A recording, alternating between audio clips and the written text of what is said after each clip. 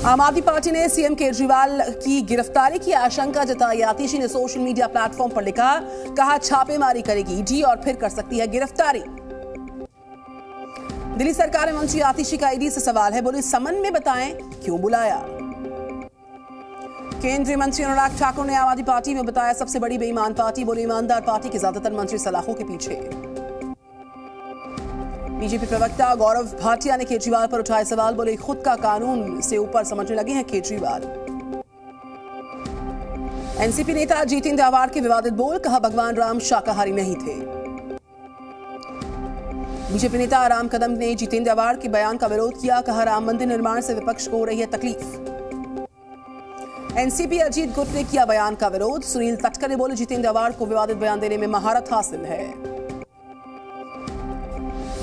BJP ने भी की अवार्ड के खिलाफ एफआईआर की मांग, कहा एफआईआर दर्ज नहीं होगी, उन्होंने पर हम करेंगे महाआरती। प्रभुराम पर विवादित टिप्पणी को लेकर अजीत गुट के कार्यकर्ता आक्रामक हो गए। जीतेंद्र अवार्ड के घर के बाहर हंगामा। हिंदू राष्ट्र पर सिद्धरमैया के बेटे का बयान, कहा भारत अगर हिंदू राष्ट्र बना तो पाकिस्तान, अफ़गानिस्तान जैसे हालात हो जाएँगे। उज्ज्वला योजना की लाभार्थी मीना मांझी को पीएम मोदी ने भेजा उपहार, मीरा के नाम पत्र लिखा, कहा करोड़ों परिवार की मुस्कान मेरी पूंजी है। केरल के त्रिशूर में पीएम मोदी ने इंडिया गठबंधन पर बोला हमला, कहा कि हमारी आस्था पर चोट करता विपक्ष। महिलाओं की रैली को पीएम मोदी ने किया संबोधित, कहा केरल की बेटियों ने आज़ादी और संविधान के निर्माण में निभाई अहम भूमिका। कुलगाम के हादीगाम इलाके में एनकाउंटर सुरक्षा बलों ने आतंकियों को चारों तरफ़ से घेर लिया। आज नेपाल दौरे पर विदेश मंत्री S Jaishankar, India, Nepal joint commission की सातवीं बैठक में शामिल होंगे। विदेश मंत्री जयशंकर का भारत चीन के रिश्तों को लेकर बड़ा बयान, कहा पहले चीन को लेकर था हमारा नरम रवैया। अरहर की दाल उत्पादक किसानों के पंजीकरण, खरीद, भुगतान के लिए पोर्टल लॉन्च की होगी शुरुआत गृह मंत्री अमित शाह करेंगे लॉन्चिंग इसकी। कांग्रेस अध्यक्ष मल्लिकार्जुन खड़गे ने आज प्रदेश अध्यक्ष और विधायक दल के नेताओं ने बुलवाई मीटिंग, लोकसभा चुनाव और राहुल गांधी की न्याय यात्रा को चर्चा की है इसको लेकर। जोधपुर में सनातन को लेकर यूपी के सीएम योगी का बड़ा बयान, कहा धर्म एक ही है और वो है सनातन धर्म। कांग्रेस के दिग्गज नेता दिग्विजय सिंह ने उठाए सवाल। रामलला की पुरानी प्रतिमा कहाँ है? पुरानी मूर्ति कहाँ है? पूछा, इसके लिए झगड़ा हुआ है। कांग्रेस नेता बी के हरिप्रसाद का बयान, का राम मंदिर उद्घाटन से पहले हो सकती है गोधरा? ऐसी घटना अयोध्या जाने वालों को सुरक्षा दे सरकार। राम मंदिर को लेकर समाजवादी पार्टी के विधायक जिया और रहमान बर्क के विवादित बोल कहा, अगर न्योता मिलता तो उन्हें भी नहीं जा पाता। राम मंदिर को रेड जोन और येलो जोन में बांट दिया गया। अब हम स्कोर समेत एटीएस सीआरपीएफ की भी होगी तैनाती यहाँ पर।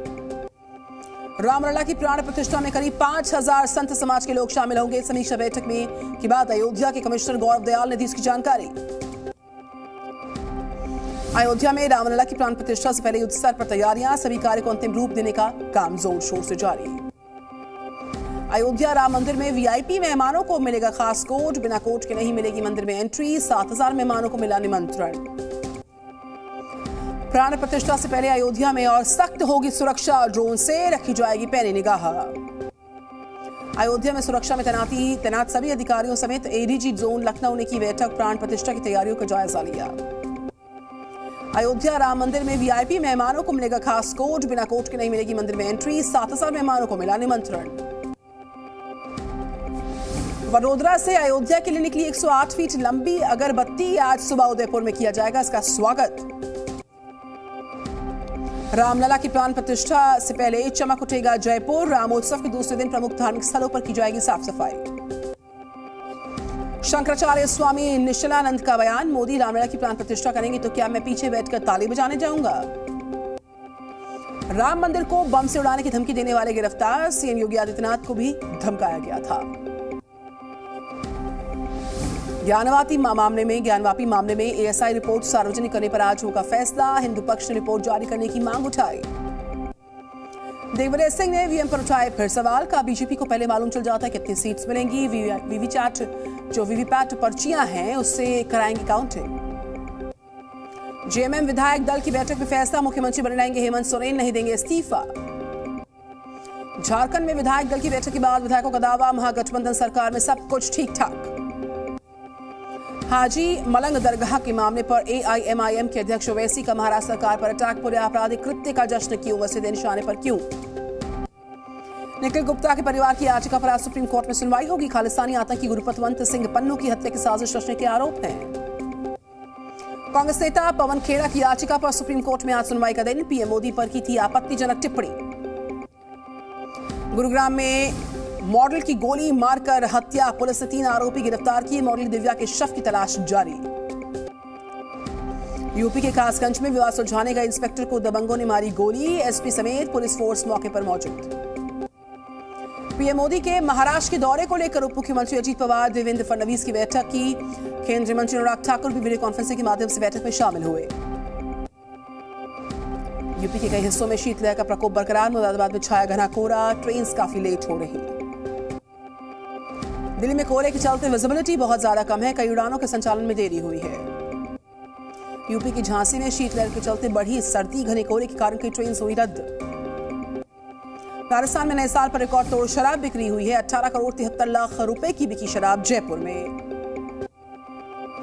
जयपुर में डीजी, आईजी सम्मेलन को लेकर पुलिस हेडक्वार्टर्स में सजावट। पाँच से सात जनवरी तक होगा इसका आयोजन।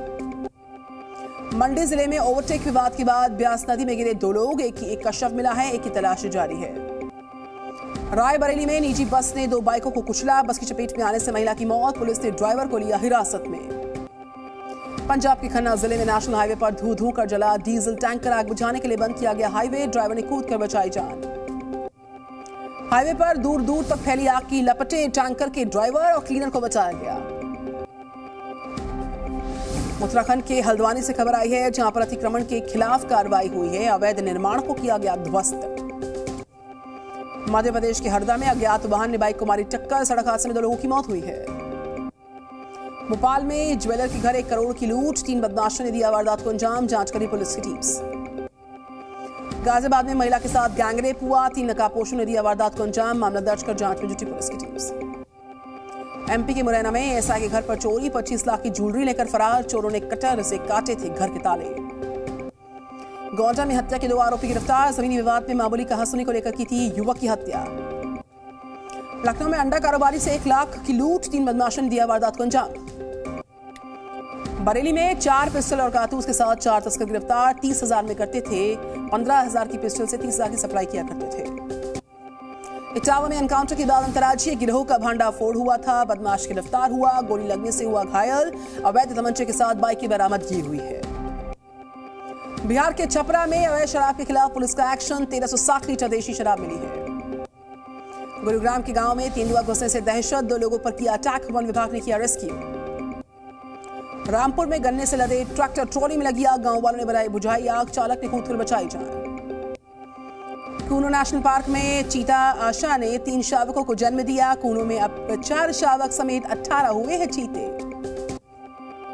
कुशीनगर में अलाव के लिए जलाई गई आग से हादसा। चार झोपड़ियों में लगी आग। घर में रखा सामान पूरा जल गया।